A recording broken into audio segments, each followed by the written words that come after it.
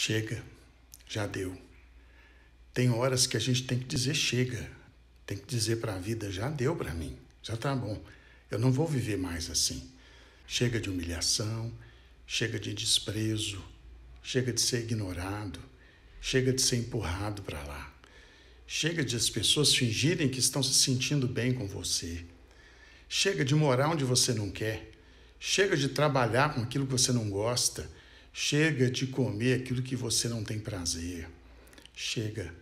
Chega de viver da maneira que você não tem felicidade, só tem tristezas e angústias. Tem um momento na vida, e não deve passar muito, que a gente tem que dizer: chega e recomeçar.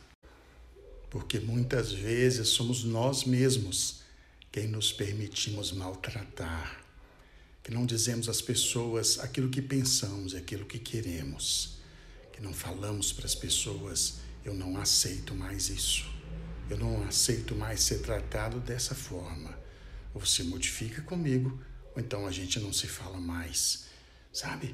Tem decisões muito sérias e duras a serem tomadas na vida. E se a gente tiver medo ou achar difícil, nós não vamos fazer porque nada é tão fácil e simples de resolver assim. A vida é difícil, sim. Ninguém falou que não seria.